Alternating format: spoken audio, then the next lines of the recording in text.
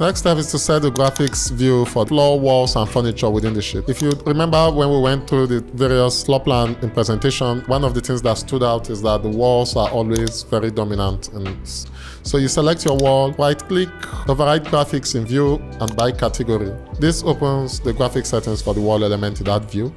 Under cut patterns, there are various subtitles, but under cut patterns, you can select solid fill and set the color to black for the foreground. In setting up the graphics, we also need to turn on our shadows to give the view some depth.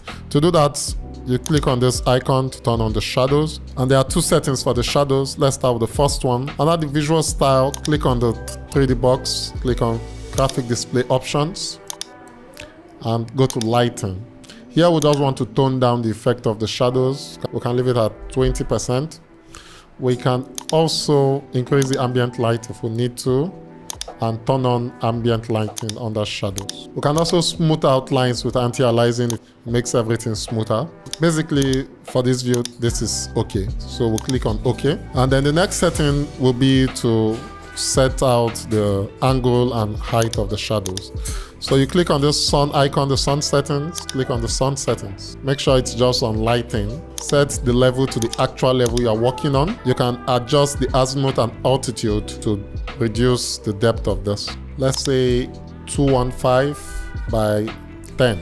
We'll set our shadows. The next thing is the furniture. From our analysis of the presentation plan studied, most of the furnitures are always faded. So let's quickly do that in our floor plan. Select one of the furniture, right click, override graphics in view.